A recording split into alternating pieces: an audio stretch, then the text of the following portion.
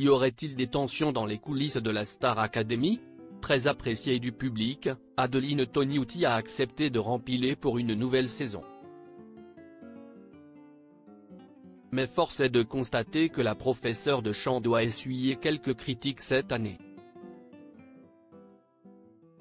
Un emploi du temps qui agace en cause, les heures consacrées au chant dans l'emploi du temps des candidats. Ces derniers n'ont qu'un cours de chant par semaine. De quoi faire grincer des dents. En effet, sur X, ancien Twitter, les internautes ne cessent de réclamer plus de cours de chant. Et pointent du doigt Adeline Toniuti, qu'ils accusent de ne pas assez s'investir.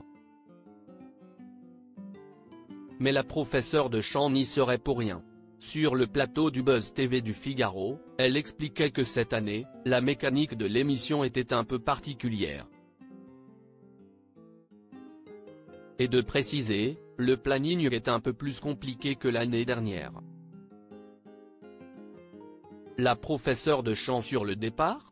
De quoi provoquer des tensions en coulisses.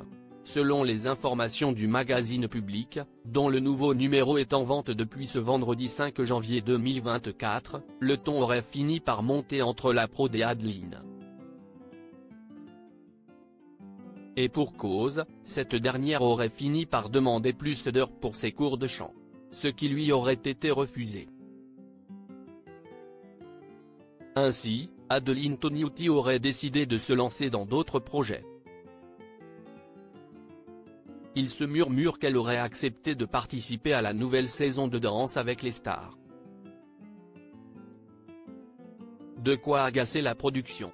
La Star Academy ayant été prolongée de deux semaines, il pourrait y avoir un conflit de calendrier entre les répétitions pour Dal et la finale du célèbre télécrochet.